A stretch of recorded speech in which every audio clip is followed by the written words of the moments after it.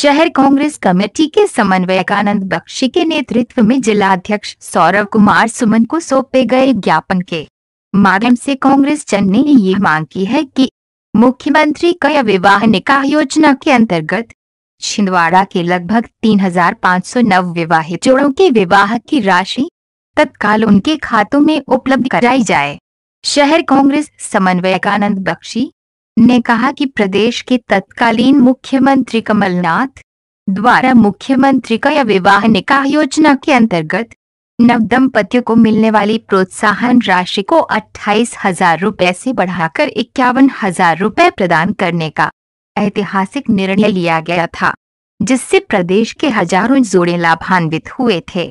संवाददाता शुभम सहारे, छिंदवाड़ा। और हमारे युवा सांसद माननीय नकुल नाथ जी की उपस्थिति में भव्य कार्यक्रम पुलिस ग्राउंड में हुआ था, जिसमें तैतीस सौ तिरपन, तीन हज़ार तीन सौ तिरपन जोड़ों ने सामूहिक विवाह और निकाह किया था। ये विश्व रिकॉर्ड बना था और गोल्डन बुक ऑफ़ रिकॉर्ड में इसका उल्लेख किया गया था।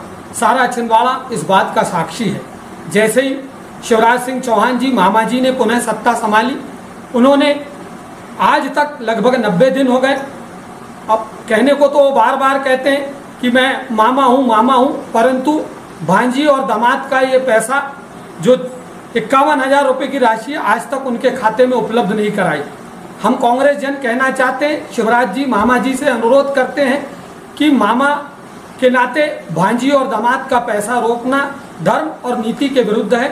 वे कृपया जल्द से जल्द हमारे जितने पूरे प्रदेश में जितने सामूहिक विवाह हुए, निकाह हुए इन जोड़ों की राशि कांग्रेस की इस मांग पर तुरंत उनके खाते में उपलब्ध कराएँ, क्योंकि ये घोर आर्थिक संकट का दौर है।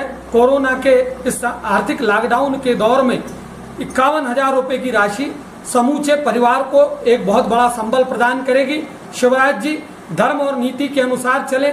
भांजियों और दामाद का पैसा जल्द से जल्द उनके खाते में उपलब्ध कराएँ। अन्यथा कांग्रेस को आंदोलन की राह पकड़नी होगी।